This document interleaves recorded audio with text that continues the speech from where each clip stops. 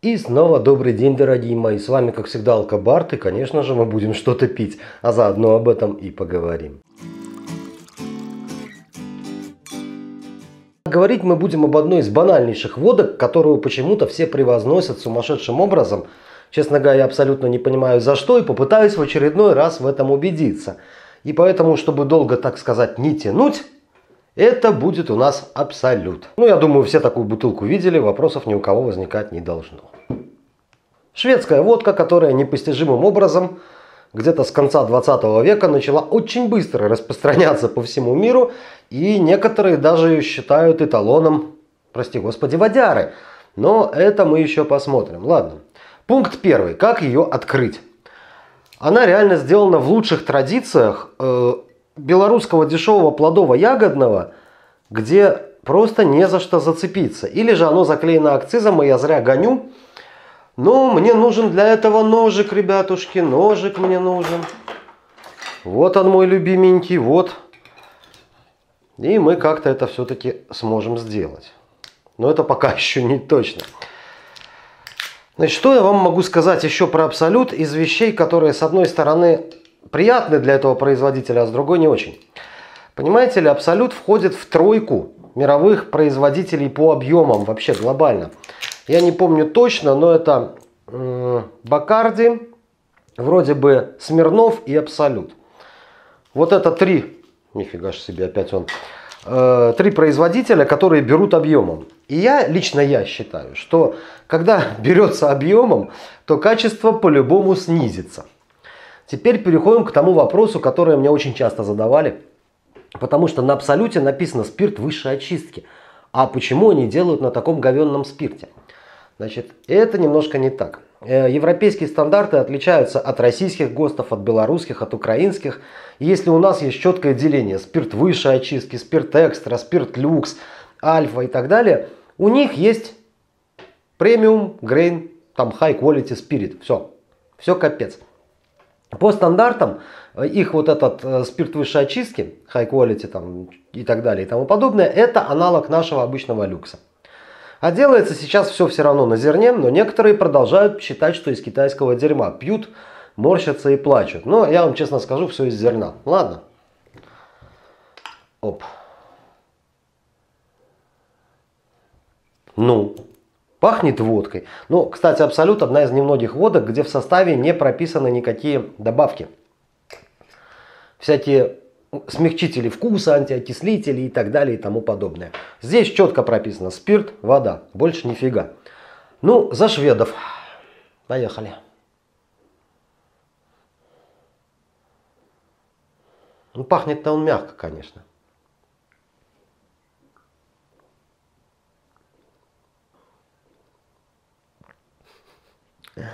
Знаете ли, есть такая вещь, водку можно определять, качество водки, потому хочется ли закусить первую рюмку. Вот, например, рейку закусывать первого не хочется. Не хочется закусывать Онегина. Из белорусских не хочется закусывать первую Всеслава Чародея, например.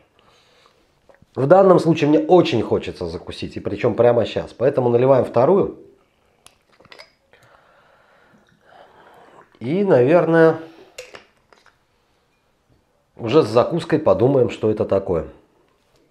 Вообще, честно говоря, я совершенно не понимаю людей, которые за это отдают деньги в два раза превышающие стоимость любой нормальной, например, российской водки. Потому что, честно говоря, я бы не сказал, что здесь какой-то сумасшедший вкус, качество, наслаждение. Здесь этого всего почему-то нет. Это обычная нормальная водка.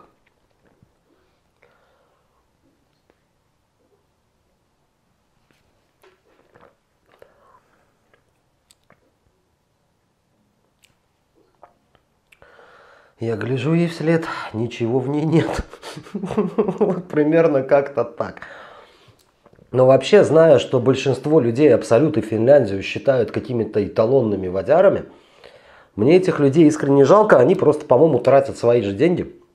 Хрен знает куда. Поэтому, наверное, кусочек сыра. И третье, которое за трезвость.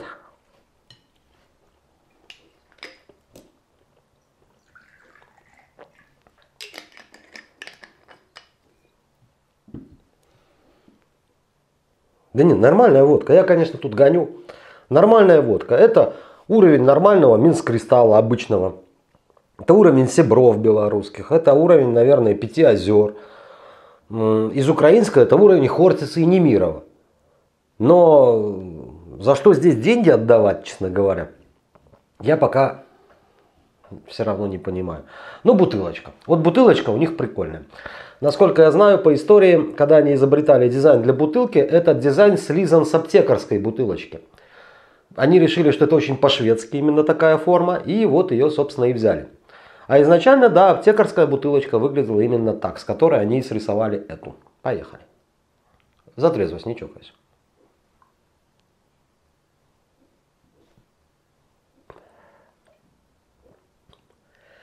Так, короче, маленький перерыв, и я возьму то, с чем я это буду сравнивать, потому что похоже, что Абсолют реально требует сравнения. Хотя мне очень тяжело, наверное, будет найти, потому что у меня нету водок именно этой ценовой категории. Есть дороже, есть дешевле. Ну как, не намного дороже, не намного дешевле, поэтому кусочек мяска и сейчас вернусь. Итак, шоу продолжается.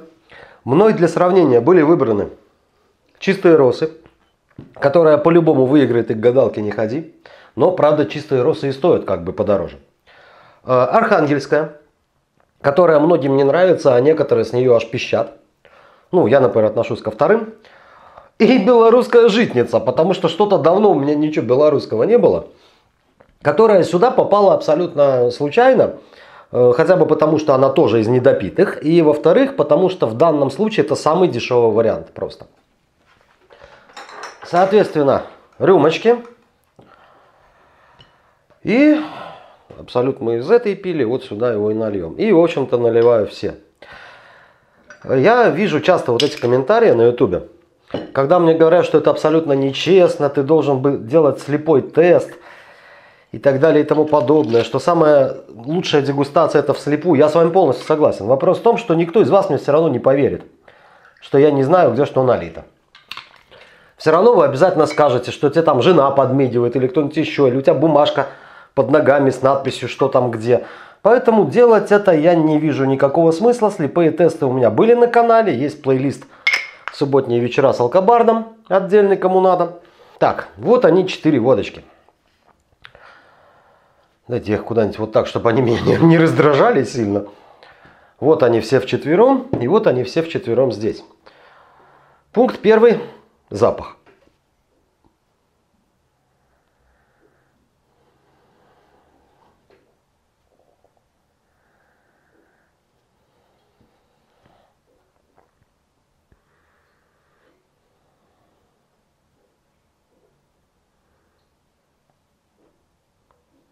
Так.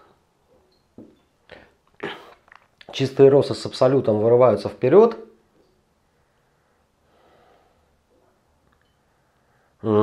Второе место будет Архангельская. Последнее место в данном случае Житница. А вот чистые росы или Абсолют? Чистые росы, потому что она, наверное, чуть мягче. Она именно по запаху чуть мягче. И во-вторых, опять же, несколько нелепое сравнение чистой росы на Альфе. Водки на Альфе пахнут немного не так. Ладно, по чуть-чуть, господа. Начнем с серединки с Архангельской.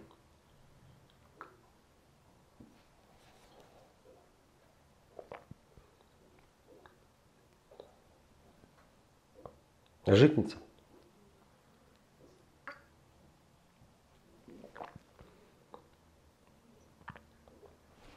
Надо хоть сыром перебить. Чистые росы.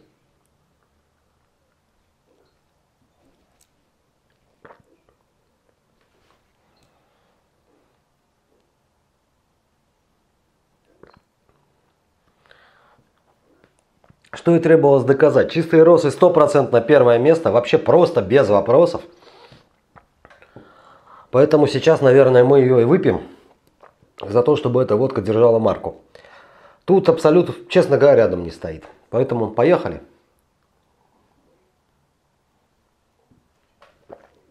И сейчас я вам вкратце расскажу, почему я не промываю рецепторы водой, что они у меня уже давно атрофированы, что мне уже глубочайше все равно, что пить и так далее. Нет, ребят, еще раз повторяю, я уже один раз говорил, если вам дают практически одинаковые водки, например, с одного завода, там два разных вида, которые отличаются одним каким-нибудь, там, я не знаю, например, лимонной кислотой чуть-чуть, то там, да, там можно запутаться. Здесь они все четыре настолько разные, что тут перебивай, не перебивай, они все все равно чувствуются. И за это кусочек сыра.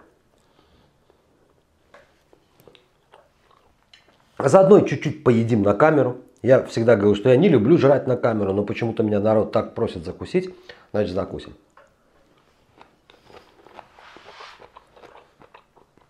Ни хрена себе капустка в магазине. В капустка, морковка.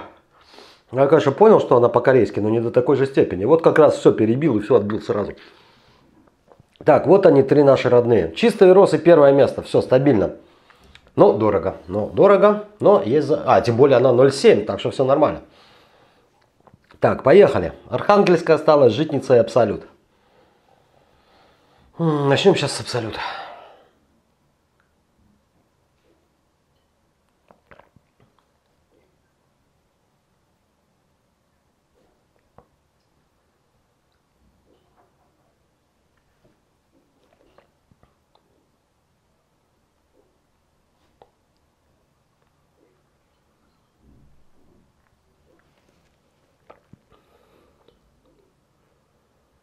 Да, вот сейчас закусим и подумаем. Да, житница меня в этот раз немножко опечалила. Житница реально занимает последнее место, но, простите, и цена ее соответствующая. Поэтому за эти деньги, как говорится, сколько она стоит, 3,5 доллара, почему бы ее не выпить? Кстати, давайте и за это тоже. За то, чтобы дешевая водка тоже хорошо заходила, и с утра от нее бодунов не было.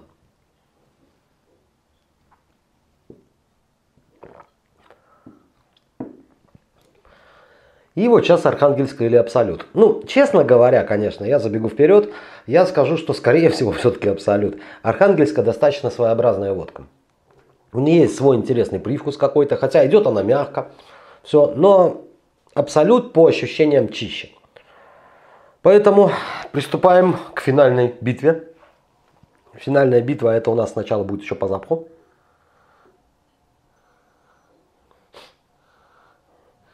Вы знаете, архангельская пахнет мягче. А вот у нее какая-то чуть-чуть сладость присутствует, что ли. Вот что-то в этом роде. Абсолют пахнет как хорошая водка и больше ничего.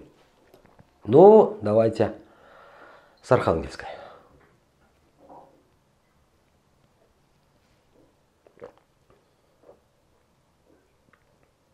Мягко, прикольно, не печет. Вот сейчас появилось чуть-чуть жжение, но такое жжение абсолютно мягенькое, нормальное. И чуть-чуть вот так вот. Занюхнем и абсолют.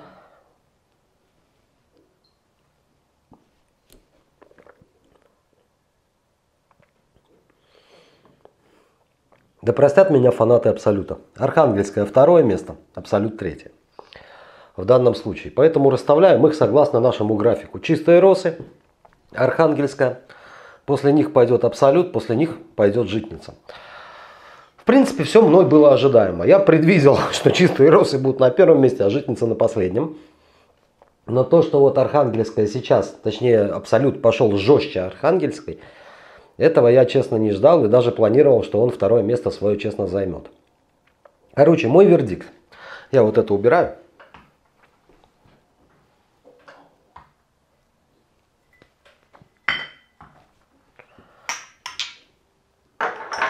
И это я тоже убираю. Потому что я все-таки возьму тот самый конечный бокал, про который я говорил, что буду пить из конечного бокала временами. Тихо. Ну, хоть наливачки нету, которая дозатор, которая там еще что-то, вот это хорошо. Это вам, шведы, спасибо большое. Ненавижу я их. Мой вердикт на данный момент фу. Вот сейчас я ее налил, когда в коньячный, оно резко Резко дают хрен пойми чем. Ну, сейчас выветрилось, уже веселее.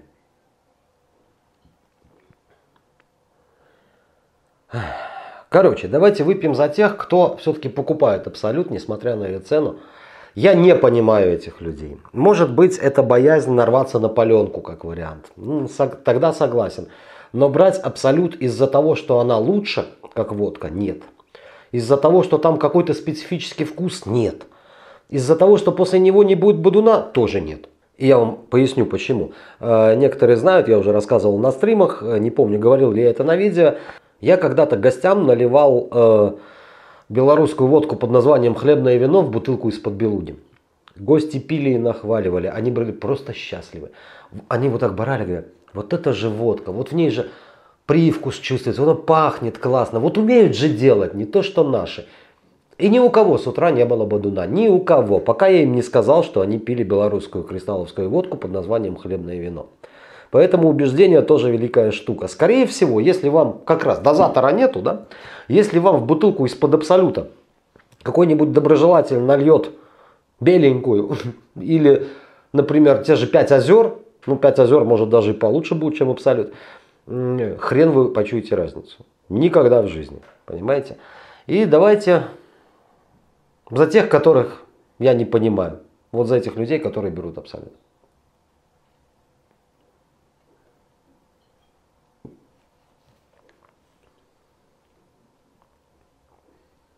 Абсолютно обыкновенная водка. Вы знаете, абсолют. Абсолютно непонятно. Вот и родилось название для видео. Абсолютно непонятно, за что здесь переплачивать.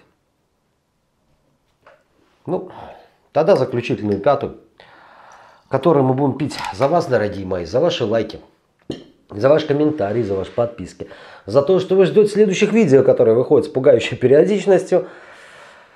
Ой, и за то, чтобы вы не верили в то, что импортная водка может быть лучше своей. Далеко не всегда так получается, честно говоря, далеко не всегда. И, в общем, на этом, наверное, всем и Пока.